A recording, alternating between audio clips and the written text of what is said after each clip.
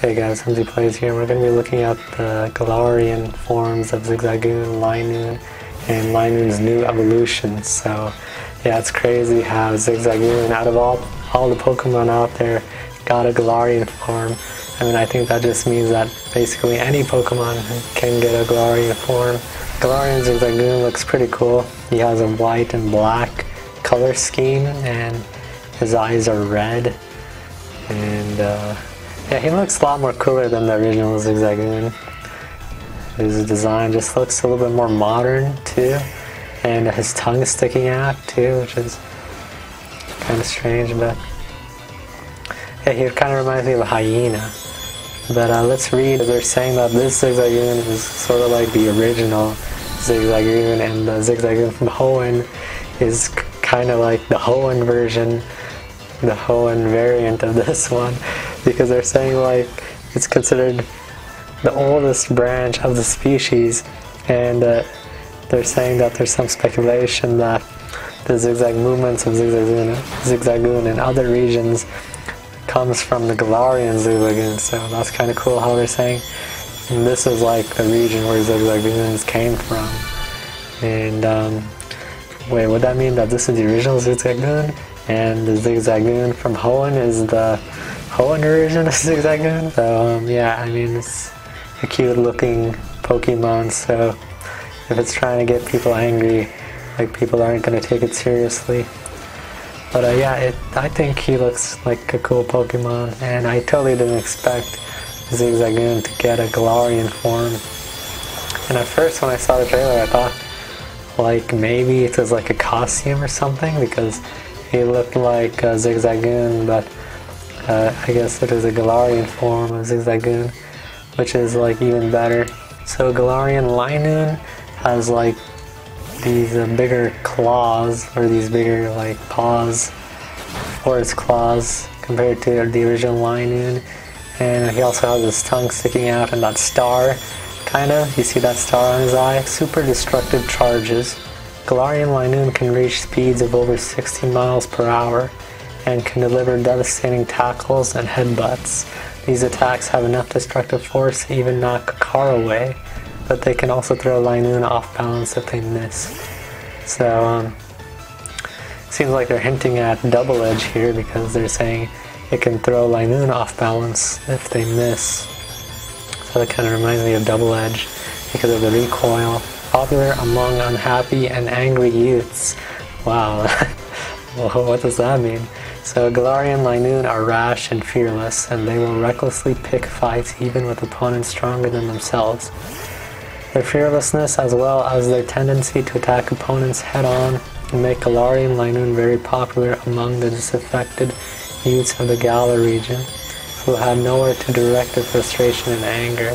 So I guess trainers who uh, are mad and angry like to have Pokemon battles and they like to use Galarian Linoone in their battles. Like these Galarian forms for the Linoone line look a lot different than uh, the original Linoone. There's something else that like I didn't expect to happen. Like when I saw this in the trailer, like when I when I saw Galarian Linoone evolving, I was like, wow, what's it gonna evolve into? Like that had me like really hyped up because like I did like no one expected there to be an evolution for Galarian Linoone because like they've never done that before, giving a regional variant and evolution, but they did that this time, so they revealed the new Pokemon Obstagoon. So uh, yeah, I think it's kind of like a play on words because Zigzagoon was like zigzag, Linoone was lines, and Obstagoon is like obstacle, so now he is like the obstacle uh, in the way of other Pokemon or something. So, evolution spurred on by a harsh environment. The Linoone of the Galar region live in harsh conditions compared to those found in other regions, with fierce competition against others of their species. Their survival instincts have been honed as a result, leading to their evolution into Obstagoon. So it seems like the Linoone here like to fight each other and attack each other. And uh, since there's so much competition, like they were just able to have a third evolution and evolve, and that's kind of crazy. I mean, it's pretty cool looking. It's on two legs. Um, Obstagoon kind of reminds me of Zoroark. Also, Lycanroc, the uh, Midnight form. That's cool. We also got a new move, Obstruct, Obstruct. So yeah, now it reminds me even more of uh, Midnight Lycanroc because Midnight Lycanroc depends on counter and stuff. It's more of a defensive Lycanroc. I mean, you don't expect Linoone out of all Pokemon to get an evolution because like it's just like the Route 1 Pokemon you find. Also here it says Obstagoon is especially skilled at throwing its opponents off guard and counterattacking with its sharp claws. So it seems like it's a Pokemon that waits for its opponents to attack and then it attacks and I, I think Obstruct, Obstruct will be like maybe like Protect except a little bit different. Maybe it's a priority move. Also it says here, living in the unique environment of the Galar region, some regional forms have developed unique evolutions unseen in any other region.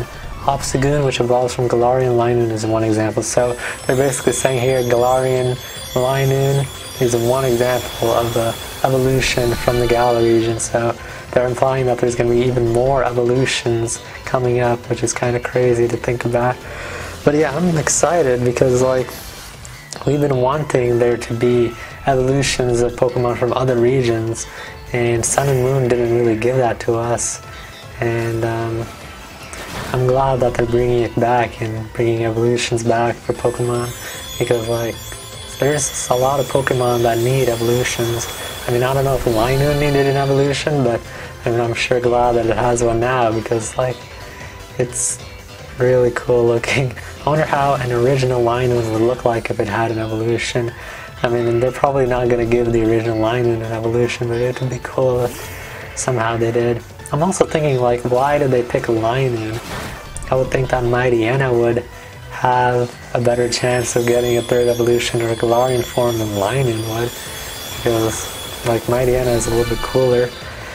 But maybe Mightyena also has a Galarian form, who knows? This basically is telling us that there's going to be Galarian forms, basically Galarian forms confirmed, and also, more evolutions confirmed, so this isn't going to be the only evolution.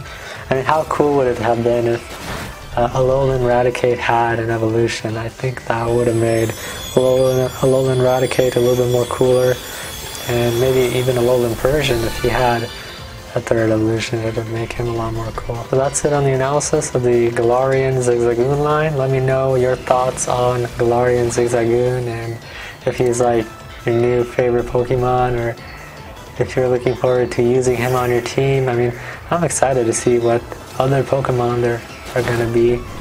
But yeah, I think that he looks really cool. Like now, with the third evolution, Linoone is probably a more decent Pokemon because Linoone, like, his stats aren't that good, but with the third evolution now, his stats are probably a little bit more balanced, so he's probably a little bit more usable now and uh, he's probably not going to be an HM slave anymore. I mean, they're probably not even going to have HMs in this game. Remember to like, comment, subscribe if you want to watch more Sword and Shield videos, and uh, I'll see you next time.